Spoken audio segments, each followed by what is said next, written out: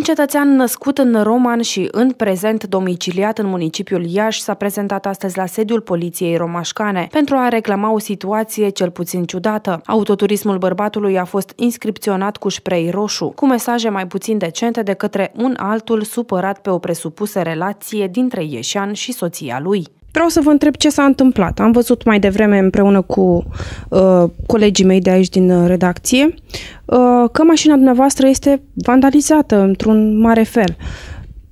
Ce s-a întâmplat de fapt? Păi, între orele 21 am lăsat uh, mașina staționată unde sunt eu din, uh, din Iași și dimineața la ora 6.30 când la o țigară și o cafea am văzut mașina uh, cum se vede în imagine și am venit să fac o reclamație aici, bănuind, nu sunt sigur dacă așa, dar după toate mesajele care mi le-au trimis de amenințare, am și înregistrat de video pentru care o să-mi vopsească ușa și mașina, știind din alte date adresa și nu știu ce, au făcut niște afirmații și acum... Adică spuneți că un romașcan de aici, da, de la noi din da, Roma, n-ar fi da, făcut aceste da, afirmații? Da, da. Și dumneavoastră acum nu-l acuzați, doar îl bănuiți pe da, dumneavoastră. Nu mai bănuiesc și ce o să iasă după ce o să fac eu toate reclamațiile legale pe la poliție.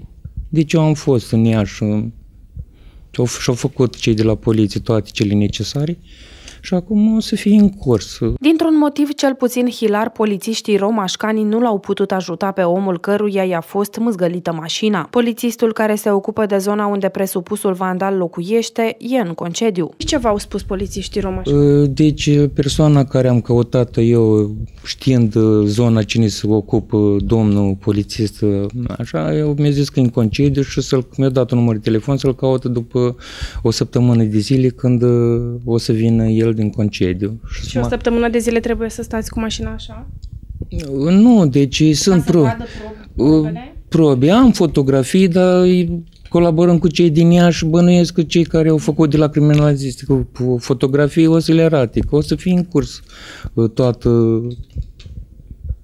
treaba asta urâtă. Bărbatul din Iași susține că a copilărit cu nevasta romașcanului gelos, dar că apoi a plecat în armată și a pierdut orice legătură cu femeia. Ulterior, cei doi s-au revăzut printr-o conjunctură de rudenie, nu prin una de relație extraconjugală. Sunt niște acuzații neprobabile. Eu mă cunosc de mici copii, cu, de, cu mii de, de mic copil, cu soția dumnealui. Soția Și am explicat, uh, să mă întâlnesc cu el să-i explică că nu este nimic, că nu mă pot băga în relații, deci au fost, dar A, cred că bă, bănuiesc că da, din gelozie. Și face și ei probleme, am încercat să stăm de vorbă, nu se poate. Și după mesajele care le-am... Ce relație aveți cu soția lui? Vă cunoașteți de unde? Lucrați deci, împreună? Deci sunt efectiv uh, relații de familie. Cu părinții mei sunt cu mătri. Cum... Așa. Eu sunt născut în Romane, efectiv.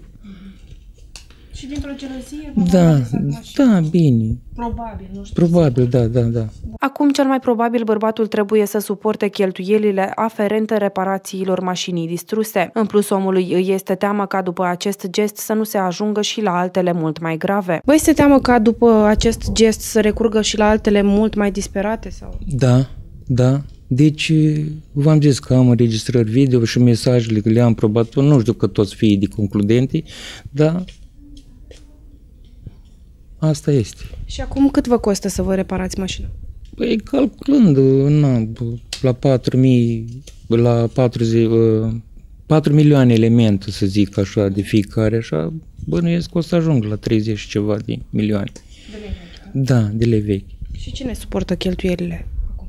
Deocamdată eu și trebuie să mă adresez când o să finalizeze toată cercetarea asta și o să-mi recuper bani. Deși imaginea cu mașina distrusă a bărbatului pare desprinsă dintr-o telenovelă, astfel de situații se întâmplă în România anului 2016. Deși ele pot părea inofensive și haioase la prima vedere, răzbunarea celor care recurg la astfel de gesturi poate degenera oricând și poate avea consecințe tragice.